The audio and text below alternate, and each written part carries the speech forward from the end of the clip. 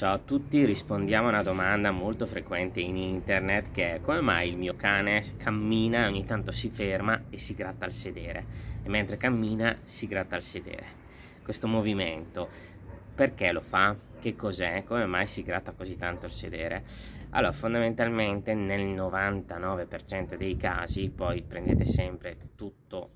con le lettere perché quando vedete qualcosa di strano è necessario che lo fate vedere al vostro medico veterinario di fiducia di solito questo movimento che fanno di schiacciarsi il sedere mentre camminano è un movimento legato al fatto che cercano di svuotarsi i, i sacchi anali perché sono pieni, se li sentono pieni, quindi schiacciando il sedere eh, al terreno cercano di svuotare il segreto dei sacchi anali. Ho fatto un video sui sacchi anali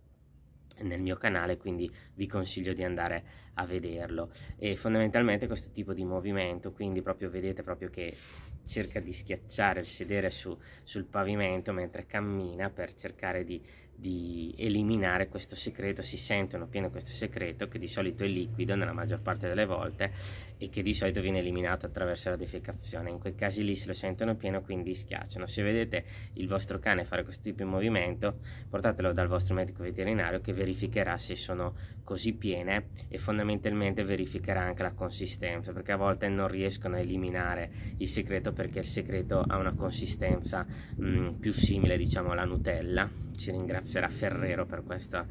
paragone, però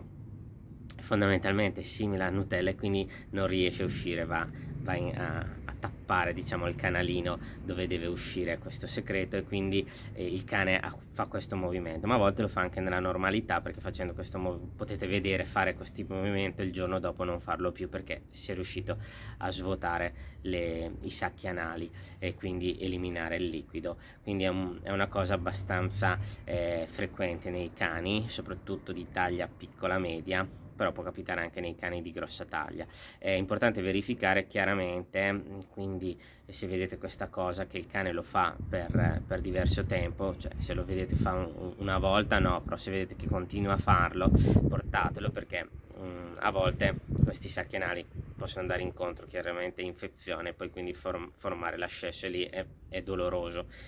per il cane mentre invece il movimento proprio di schiacciarsi e sedere mentre camminano al terreno, quello è un movimento eh, fisiologico quando i sacchi sono pieni, quindi può essere che voi lo vedete un giorno e il giorno dopo non lo vedete più e poi non lo vedete più finché poi si riempie di nuovo di secreto, in quel caso lì è abbastanza fisiologico perché cerca di eliminare il, um, il sacco, poi è chiaro, ripeto, se vedete questa cosa eh, e non vi convince portate al medico veterinario proprio perché magari c'è qualcos'altro che gli dà fastidio. In generale questo tipo di movimento è legato di solito al fatto che i sacchi anali sono repleti di, ehm, di materiale liquido che serve, ehm, che serviva e serve tuttora ai cani e ai lupi per eh, marcare il territorio durante la defecazione. Durante la defecazione parte di questo liquido esce, questo liquido è molto maleodorante, quindi lo sentono a distanza e sanno che lì è passato un cane, quindi il lupo eh, che non fa parte del gruppo eh, cerca di non passare in quella zona, fondamentalmente serve a questo. E nei nostri cani, eh, soprattutto ripeto di piccola e grande taglia, questi sacchi non vengono eh, eliminati a sufficienza molto spesso a causa de della defecazione che non ha una grandissima eh, forza e quindi fondamentalmente ehm, può capitare di avere delle patologie correlate al, al sacco anale eh, repleto perché questo sacco poi può infettarsi, lì abbiamo il retto che non è sicuramente la zona più pulita del mondo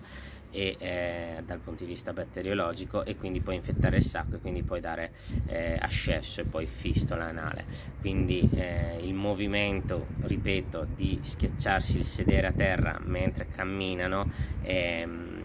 è quello fondamentalmente di cercare di svuotare questi sacchi perché se li sentono pieni. Quindi se vedete che lo fa e poi non lo fa più non c'è bisogno di correre veterinario. Se vedete invece che continua a farlo portatelo perché magari non riesce a svuotarsi i sacchi perché il materiale è molto più denso ripeto simile alla Nutella e quindi fondamentalmente non riesce quindi c'è necessità magari di svuotarlo manualmente. Spero che questo video vi sia piaciuto e ci vediamo alla prossima